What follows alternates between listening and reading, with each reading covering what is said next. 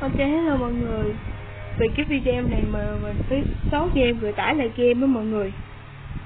Nào, mọi người có bao giờ gặp cái trường hợp mà Khi mà mình mới vô game á Là nó rất là lát không mọi người? Đó Hôm nay mình sẽ hướng dẫn mọi người cách để cho nó hết lát nha mọi người. Trời ơi. Chắc mình nghĩ làm cái này là cũng có nhiều người sẽ muốn làm nó luôn á là mình chỉnh cho cái gì đó nó thấp xuống một tí xíu. Hoặc là bỏ cái đó luôn, khỏi cần dùng tới. Và vô nó cũng rất là lâu. Đó.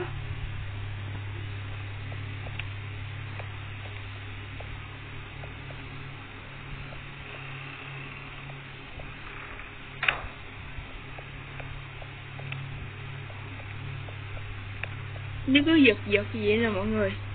Thì mọi người sẽ nhấn vào dấu hai chấm vòng tròn cho mọi người nha. Rồi mình sẽ nhấn vào xem. Rồi mọi người sẽ nhấn vào dấu cài đặt à, nào. Rồi sau đó mọi người sẽ nhấn cái ờ, cái ờ, cái chữ ở dưới đây. Cái chữ retro defect gì đó nói chung là cái hàng chữ nó dài hơn cái chữ bát ở dưới nè. Rồi.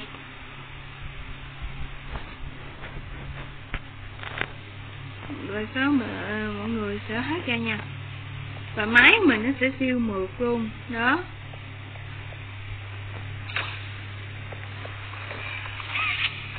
Đó. Máy mình nó sẽ siêu mượt nha mọi người.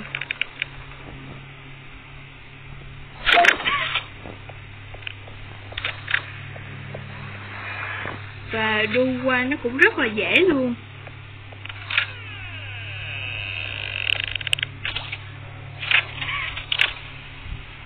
Đó, siêu mượt luôn nha mọi người.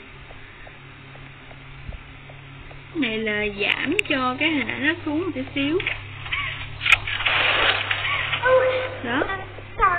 Rồi, và video của mình tới đây là cũng là kết thúc rồi. Hẹn gặp lại mọi người những video sau. Mới bye.